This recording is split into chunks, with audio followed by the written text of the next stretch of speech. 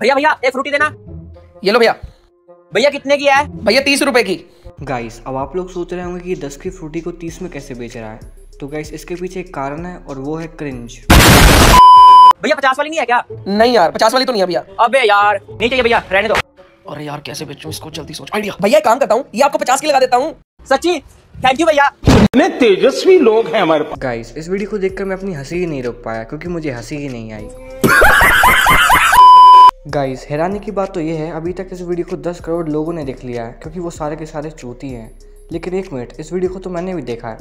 Music by the way guys इन सब बातों को रखते साइड में आप लोग लाइक और सब्सक्राइब कर दो यार।